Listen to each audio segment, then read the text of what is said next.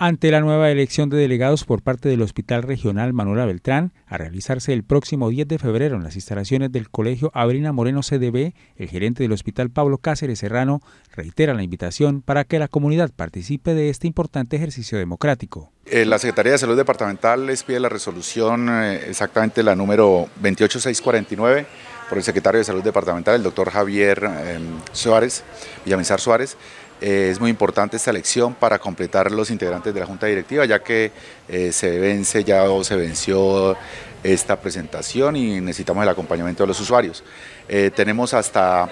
final de este mes para la presentación de los documentos de los participantes que quieran, pues obviamente, hacer parte de nuestra Junta Directiva del hospital.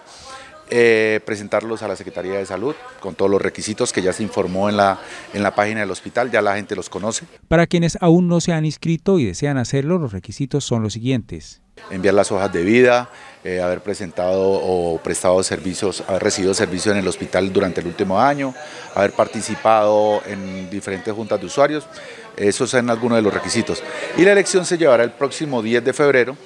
en la antigua sede del Colegio Abelina Moreno, eh, de 8 de la mañana hasta 9 de la mañana son las inscripciones allá directamente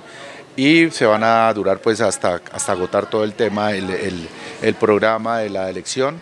Eh, nos va a acompañar eh, Personería Municipal, la Policía Nacional, el Secretaría de Salud Departamental obviamente y nosotros como hospital pues vamos a estar también presentes en la apertura de este proceso. Es importante recordarle a la comunidad que la persona seleccionada tiene varias funciones de relevancia dentro de la Junta. Sí, es muy importante, la función es participar directamente en todas las decisiones que se, que se toman en la Junta Directiva del hospital.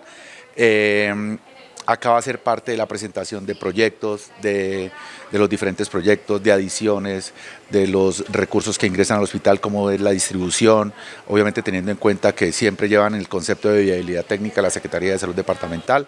eh, la presentación del próximo presupuesto del año 2024 que se presentaría en octubre de este año. Eh, nosotros en octubre de cada año nos aprueban el, el presupuesto del año inmediatamente posterior a, a la vigencia. Eh, sí, es, es hacer parte y tomar eh, decisiones muy importantes para el hospital y de decisiones de tipo administrativo, de tipo operacional y de tipo asistencial.